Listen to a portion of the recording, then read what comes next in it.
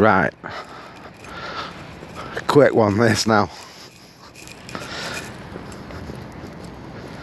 You see, it doesn't matter if the earth is flat, and it doesn't matter if the sky is filled with chemtrails. Right? What matters is why you think the earth is flat and why you think the sky is filled with chemtrails. That's a more important question as to if they are real, if it is flat, or if we're getting chemically fucking assaulted. It's why do you think that? Right? That's the interesting question. Right? And the reason you think it, right, is one, because you can see it, right? And two, because the seeds have been planted. Right, and you're wanting to say to people, oh, you've got to be free thinking, you've got to be open minded, you've got to listen to Alex Jones, David Icke, Brian Gerrish immediately. Because them guys know what they're talking about. And they're bringing us the truth telling us now next point that that brings me to which I didn't mean to cover the other night right as you're searching to find these truths answers to these questions that you can't really get access to the facts of. That you think that at some point the world will know. But the world already does know. The problem on this planet, right, is the actual system itself. And the system itself, i.e., the top fucking brass of the banking world, or even just say very high up ruling elites. They know this. They know that they are the sirs amongst the wheat, feeding off the energy and life force of the herd. Right? And they don't really want you to know what they know. Because if you work that out, their game's up and they're fucking rumbled. So what do you do if you are in their position? What is your manoeuvre? What is your greatest sort of like survival, stroke defence, safety, sort of tactical manoeuvres? What would they be? Well, if you want to control reality, first you must become a master of deception.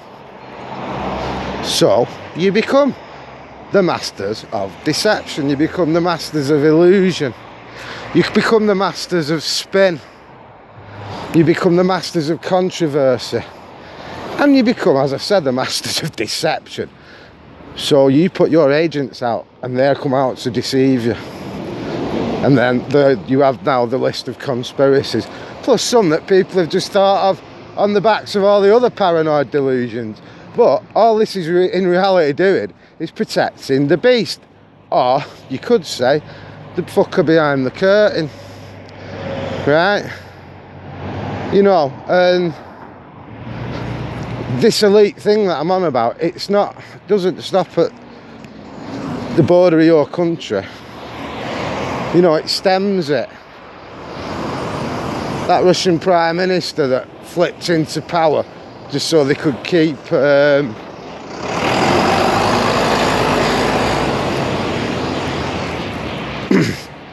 because you can't be you can't be thingy can you to you've got to come out of power to go back in basically.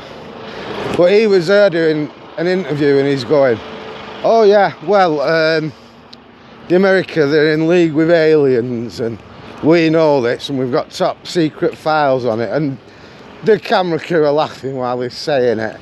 And then he says and blah blah blah. He says and if you want to like look into it research men in black. So they're all at it. You know, they all put conspiracy theories out. Russia's bad for doing it. Russia is the reason that you've got Tartaria. It's the Russian conspiracy whack jobs that are getting fed that one over there and it's, you know, across the uh, flat earth. So, these really are distraction tactics.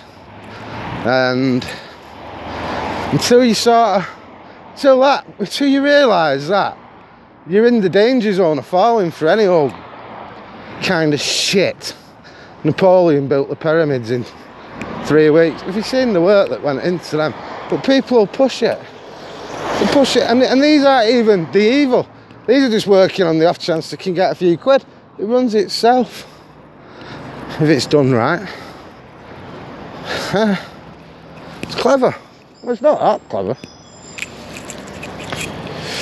You know, you just sit back. We'll do the work. We'll, we'll, we'll think up our own sort of, you know what I mean? And yeah, there is a lot of strange stuff that you, you, can look into with lots of truth in it. But look at uh, Enochian magic and you, you know, and you go and look at John Dee and he's got his fucking stupid spinning tetragrams. And they're just dog shit. But from them has spawned a lot of this stuff. See? You know, the seven secret names of God and all that guff. It's all crap, but it's it it's like I said, it's the spell. You know, you start the spell there. And it's fun, right? It can deceive the people 500 years later and cause a lot of problems. Oh, thank you very much. And um, let me cross the road, it's a busy road. So, there you go. I'll upload them while I'm in work. And uh, yeah. So like you're not really going to get to the answer. There's going to be no answers at the end of any of these journeys. And to think that there will be is naive because whenever you get near an answer, you'll get another problem. You see, the rabbit warrens extend themselves they self-building. That's your fucking smart. Right, but it's our brains being thick and falling for every line they throw at us. Right? So, you know, and to think, I wouldn't even want to think that we'll ever get to the answers of all these problems. I wouldn't want to be thinking like that because I know it's complex to fuck. And it, it, it can't, you can't solve it. It'll just keep moving on to the next in other words, you know, one minute flat earth's a big thing, then it's Tartaria. Next thing, you know, and it just keeps going. It doesn't stop. You know, it keeps dragging in and, and then you're not getting on with your life in and fighting a, something you can't really fight. You know. And you're just basically just spinning around and you, next thing you know, you'll look back and you might have wasted 20 years of your past. Good one.